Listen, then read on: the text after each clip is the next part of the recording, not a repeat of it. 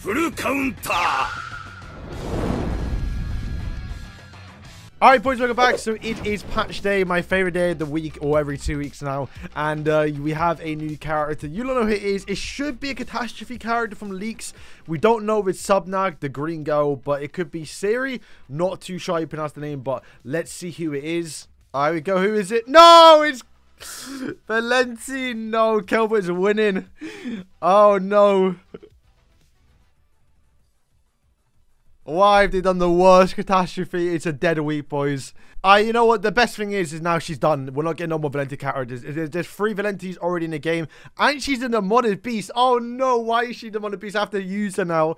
Oh, you hate to see it. Alpha looks terrible as well. Not gonna lie. Okay, so let's check out what this character actually does. Okay, so this character is made for the new Demonic Beast battle.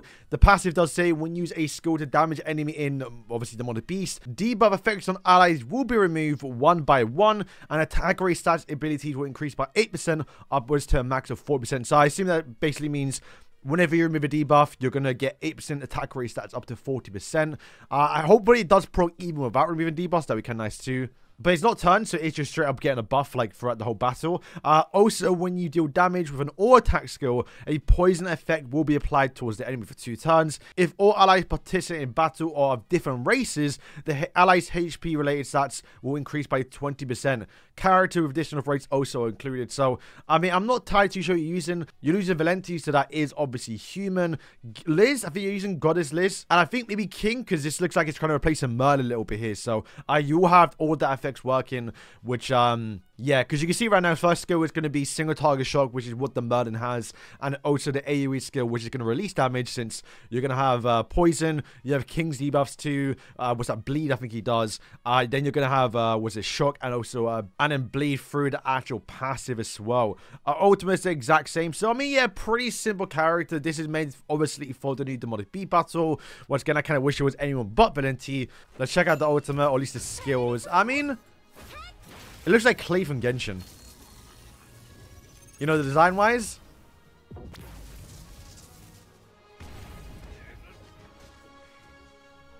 I mean, it's the best outfit so far. Okay, so this is the lineup. It is a pretty bad banner. It's literally just what you expect from other catastrophes. I, but Netmarble, please, make them a bit better, right? Like, I get it's a catastrophe banner.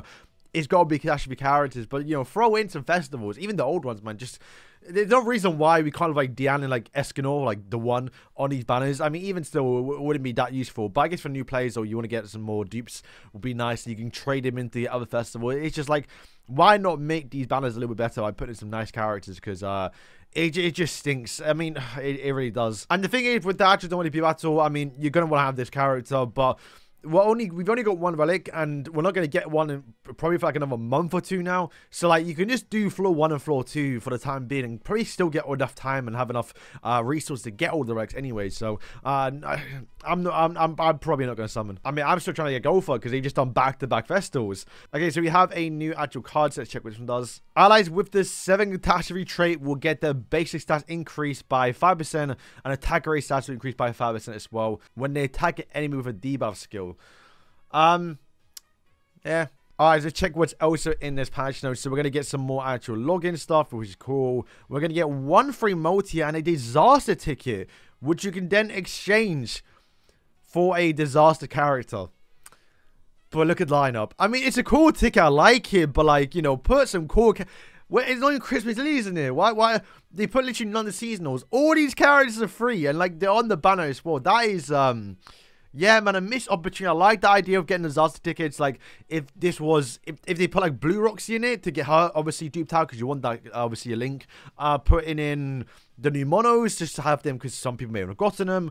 Would be nice to get obviously the Christmas uh, Lily as well. Because he choose not to put her in, even though she's not that good. But like she's like you know, once again seasonal. I, once again, missed opportunity not to put in the seasonal because even still, it's not like any of them are going to game break. All right, so we are getting this event back, which is going to bring another disaster ticket, which, uh, to be fair, I don't think I've gone all 6-6, so I mean, I guess I'll use for GP, right? Uh, but yeah, once again, that is uh, the lineup, and I believe that is okay. You know, this is nice. This is um a pretty good event. You do get quite a bit of gems of this one, so we'll take it. We're gonna need it for Alpha and upcoming collaborations and festivals.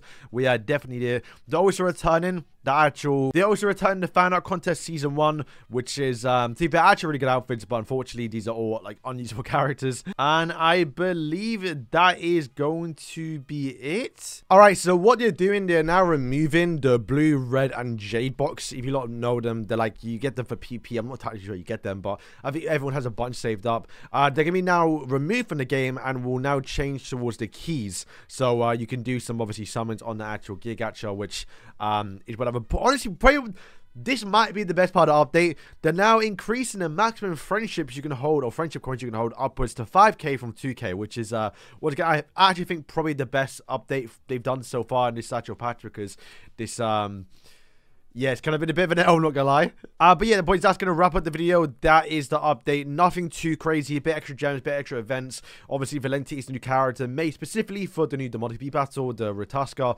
which um I mean, it's nice to get it soon after the raid boss because normally they sometimes wait like a month or two, and you know the whole drama with obviously Freya, where she was the demonic people character, but she wasn't sold as that and became it afterwards when her banner left and she got a relic. So this is um definitely better. I really wish it wasn't Valenti because I actually you know don't want to use her, but now I have to actually force to use her. Is it good we're getting now? Sure, but the problem is, once again, we've just had back-to-back, back-to-back-to-back must summons with Arthur, with you know, Gelda, then we had Gowther, now we have this too. Even though the character in itself is not great looking wise, the character's kit you actually want to get. And like I said, not to mention, in two weeks' time, we're going to be getting a collaboration, probably Shield Hero to return people are going to want something for that one. And then two weeks later, I'm probably going to get even a new cool character and then a, the new JP Annie. It's a lot, man. I'm not going to lie, it's a lot. So we, we got pick and choose with someone here. Personally, myself, I was skipping. So the way to see. So, boys, thank you for watching today's video. Let me know if you're excited for this character. Probably not, unless your name's Kel, but, Uh, but yeah, boys, thank you for watching. And uh, yeah, peace.